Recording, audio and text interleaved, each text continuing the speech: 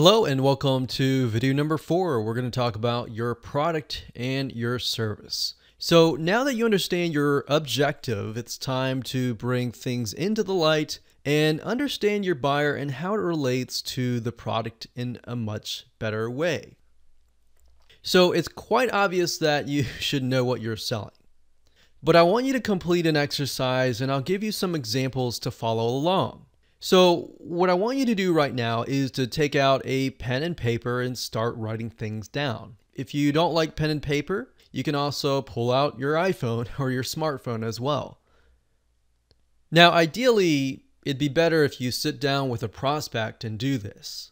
And if you can't, try to get them on the phone and even pay them money. Say, hey, I'll pay you X amount of money just to sit down with you and talk with you and list out four different needs or pain points that your product and service solves.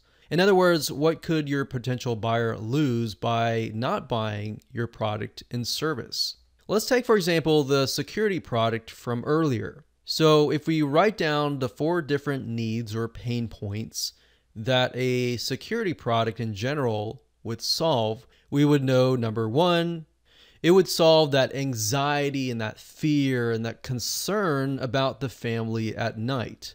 Concern about pets when they're away. Concern about family when they are on a trip or anyone that's away. Concerned about the house when they are away. So those are just four of the pain points that everybody most likely feels. Now, some people won't have pets, some people won't have children. So that's why we try to cover as much as possible. Now, bear in mind that these four are merely scratching the surface. I could go on and list 10 or even 20 if we wanted to. And I advise you, if you can list more, then great. But the goal of this exercise is to merely get your brain jogging so that we're going to keep it with a lower number. But if you can do more, great, do more. Now, what I want you to ask yourself is this question How much time would they lose, and they being your customers, if they didn't have what you were selling? Well, if they didn't have a security product and they were concerned with all these items, you already know that they have fear, they have anxiety that's probably keeping them up at night. They would probably have to keep checking the house. They would have to ask their neighbors to keep an eye out on it. They would lose sleep at night because of that anxiety, that worry of what could potentially happen. Now, obviously, it would change if we take a look at the father, the single woman, and the elderly couple based on those three. Those could change in a variety of ways. So the father if he's away on a trip, obviously he's going to be concerned about his family at home. If the single woman's away and she has a pet, she's obviously going to be concerned about the pet, right? So it can be different still in different ways.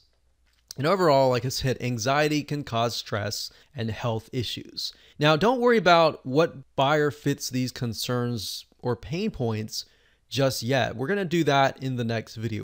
What I'm trying to do here is merely get your brain jogging so that you can start thinking about these pain points and these loss of time and loss of something. So with that said, if you have not jotted down the pain points and the concerns plus the time lost that your buyers would face without getting your product and service, go ahead and do that right now. Feel free to pause this video and then unpause it when you are done. It's not going to take a lot of your time. So let's move on to video number five, and we're going to dig deeper. We're going to elaborate further and figure out which buyer fits what and how you can go about doing that.